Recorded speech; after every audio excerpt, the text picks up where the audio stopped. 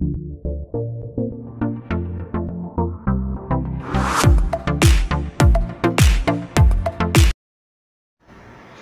friends, welcome back to my channel. Today I'm going to be saying a few lines on the topic Quit India Movement. A highly significant day in the month of August which holds a special place in Indian history is August 9. On this day, the Quit India Movement is observed. The Quit India Movement was also known as the August Movement. It was a civil disobedience movement started by Mahatma Gandhi on the 8th of August 1942 during the Second World War asking for an end to British rule in India.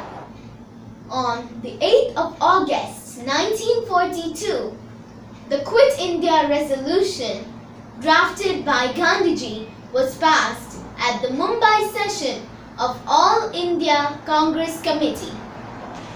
After the passing of the Quit India Resolution, Mahatma Gandhi gave his famous Do or Die speech at Gowalia Tank Maidan in Bombay.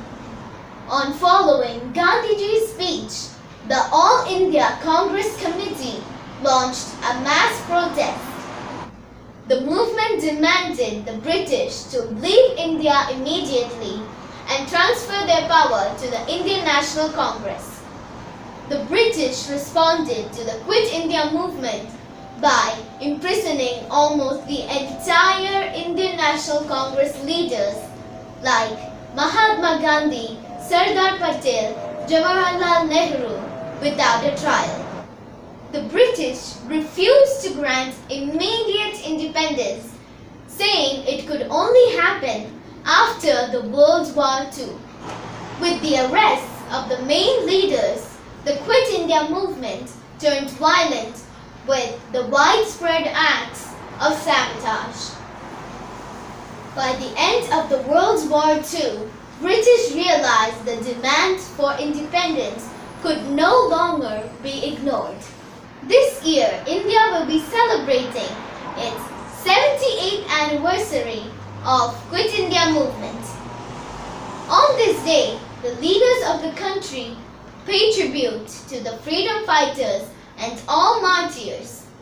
The people also pay tribute to them by conducting integration speeches and other events. Thank you.